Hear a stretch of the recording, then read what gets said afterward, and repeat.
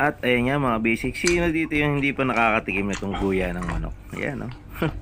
Nabili lang natin yan sa online kaya umorder agad tayo ng dalawang kilo. At yan, hugasan muna natin yung guya ng manok. May kasama rin yung atay balunan.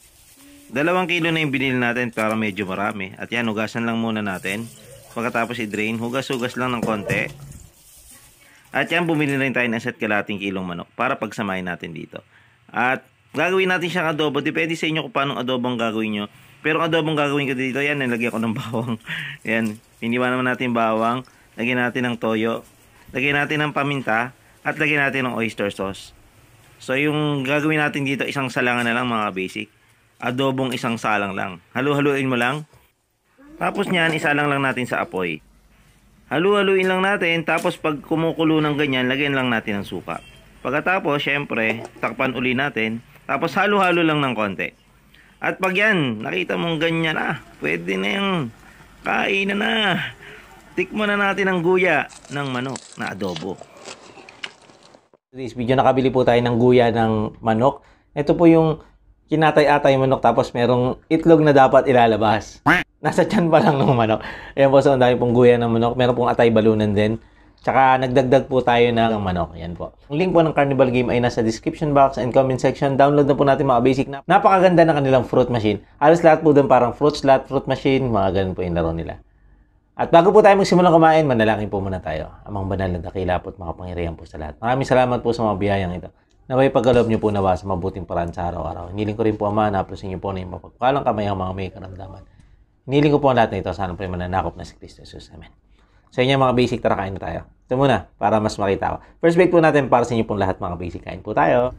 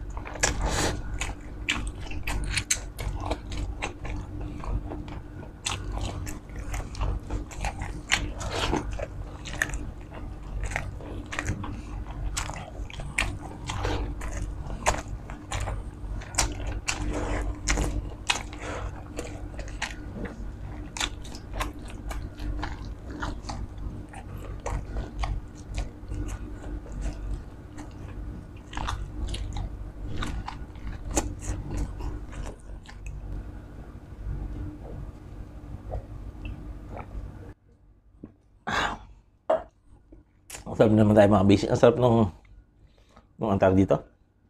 Nung bahay ng guya, yung, yung manok, yung itlog ng manok na hindi inilabas ng manok. Panalo yung mga basic must try. Nakabili lang tayo sa online, so more than tayong dalawang kilo, tsaka isa't kalahating manok pinagsama natin para may pagkain din sila. At muli po nagpapasalamat kami sa lahat ng sumusuporta sa Discarding Basic. Dito na po natatapos natin video. Bayan God bless po sa lahat.